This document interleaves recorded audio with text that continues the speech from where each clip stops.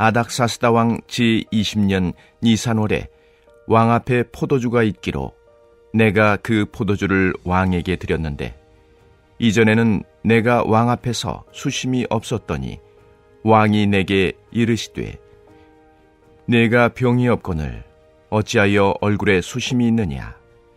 이는 필연 내 마음에 근심이 있음이로다 하더라.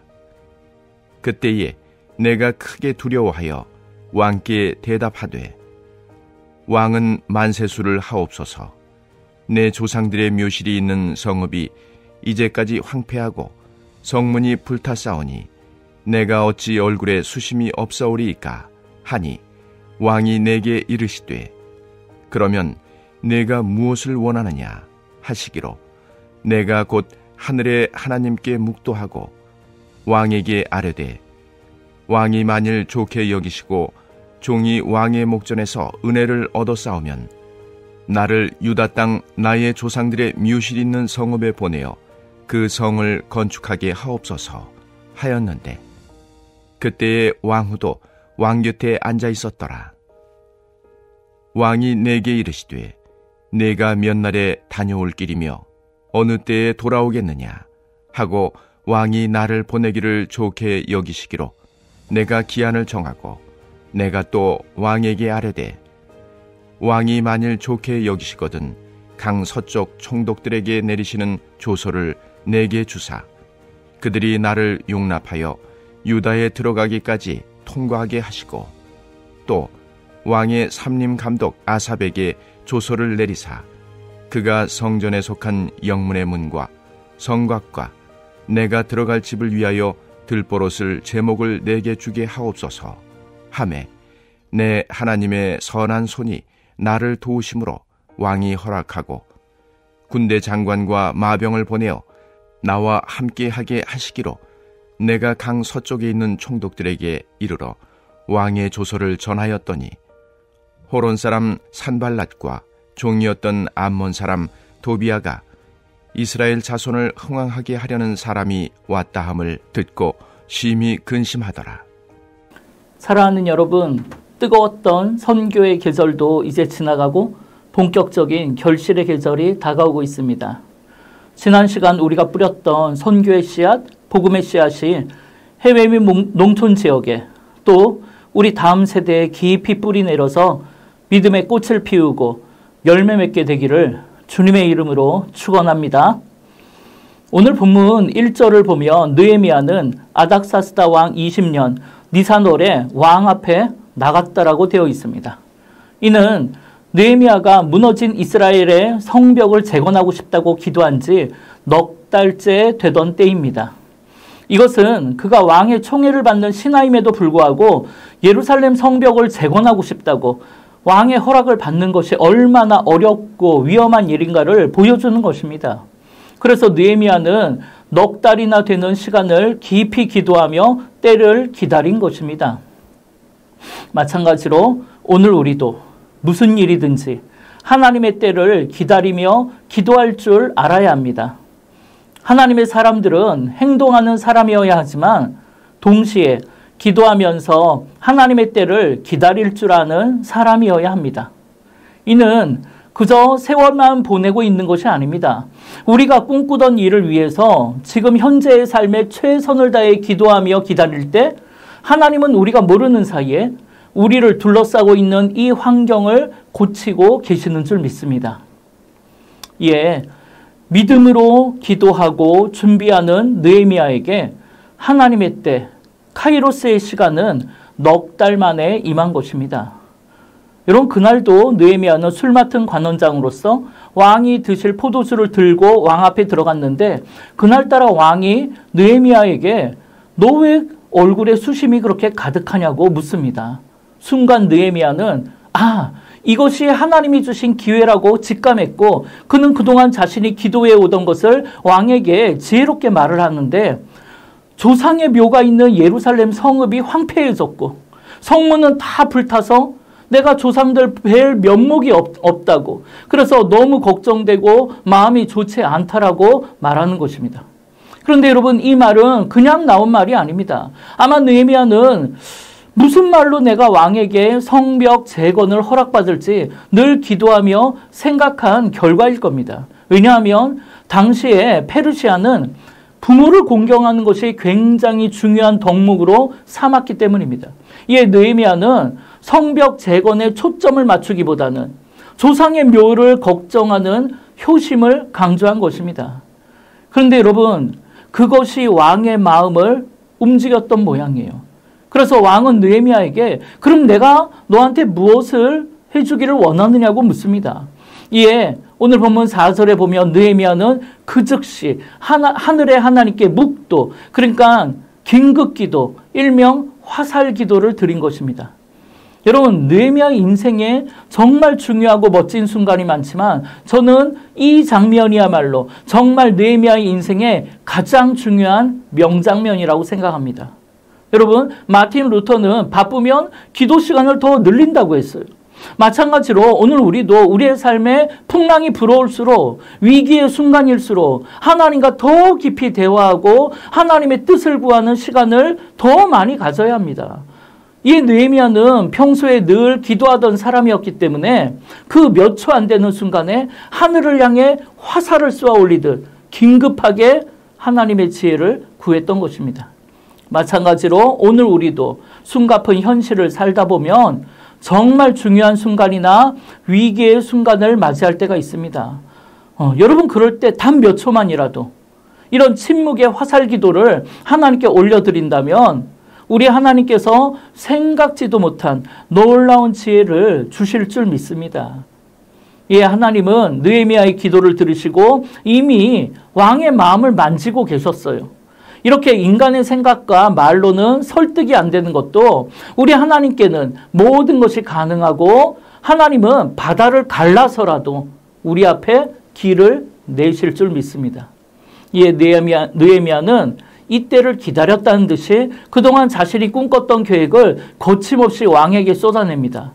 즉 느헤미야는 지난 넉 달 동안 기도만 하고 있던 것이 아니고 예루살렘 성벽 재건에 필요한 모든 조사와 준비를 끝내놓고 있었던 거예요.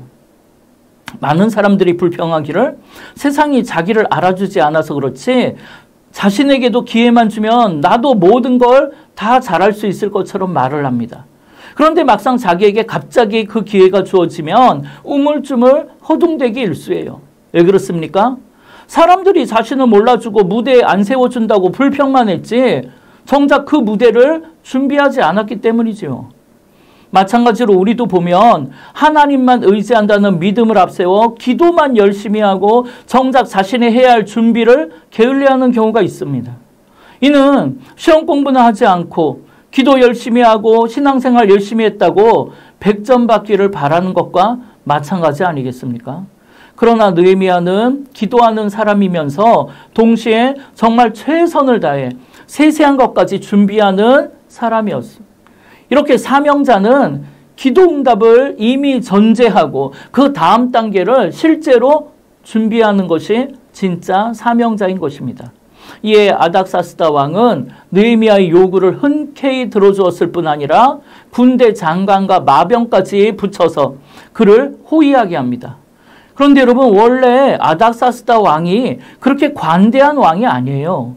고대 문헌에 의하면 그는 변덕이 심하고 성미가 불같고 배신을 잘하는 다혈질적인 사람이라고 해요. 그러나 그런 왕의 마음도 우리 하나님은 움직이실 수 있다는 것입니다. 여러분 세상의 악함과 세상의 강함에 기죽거나 두려워하거나 도망가지 마세요. 우리가 섬기는 하나님이 세상보다 훨씬 크고 강하신 분임을 믿습니다. 문제는 세상이 얼마나 강하냐, 악하냐가 아니라 내가 세상보다 크신 하나님 편에 서 있는가? 나에게 그런 하나님을 의지함으로 무서운 세상과 맞설 담대한 믿음이 있는가 하는 것입니다. 이에 느헤미야는 군대 호위를 받으면서 예루살렘에 도착을 해요. 이런 느헤미야의 모습에 예루살렘 성벽 재건을 반대하던 그 주변 적군들은 큰 충격을 받습니다. 여러분 오늘 본문 10절에 보니까 그들이 심히 근심했다고 말합니다. 더군다나 페르시아 왕의 총애를 받는 그 최측근 중에 이스라엘 백성이 있으리라고 누가 상상이나 있겠습니까? 마찬가지로 오늘 우리가 사명의 길을 나설 때 우리를 대적하던 사탄은 근심하고 두려워할 줄 믿습니다. 그럼 여러분 어떻게 이런 일이 가능합니까? 그것은 이 꿈이 나의 영광을 위한 일이 아니고 하나님의 영광을 위한 일이고 이 꿈이 내 안에서 나온 꿈이 아니고 하나님께로부터 온 꿈이기 때문입니다. 따라서 만약에 여러분의 마음에 무엇인가를 해보고 싶은 그런 설레이는 꿈이 있다면 그것이 내 안에서 나온 꿈인지 아니면 하나님께로부터 온 꿈인지 확인해 보시기 바랍니다.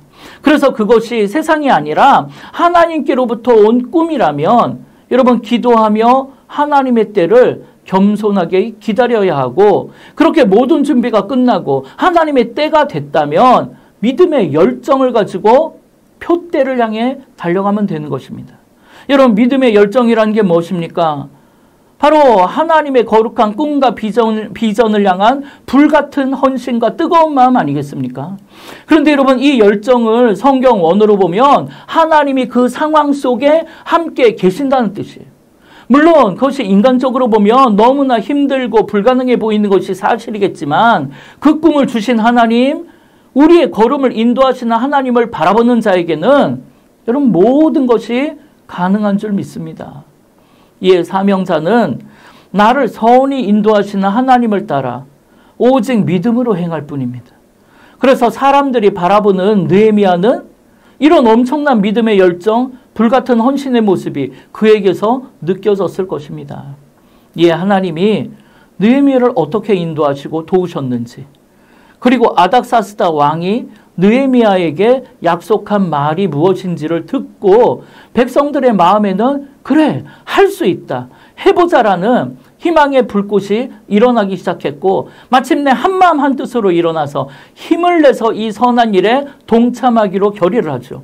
그리고 그들은 주변국들의 온갖 위험과 위협과 방해에도 불구하고 54일이라는 단기간에 성벽 재건을 완성하는 아주 놀라운 역사를 이루어내게 됩니다. 마찬가지로 오늘 우리에게도 이렇게 기적 같은 이야기, 간증의 이야기가 넘쳐나기를 바랍니다.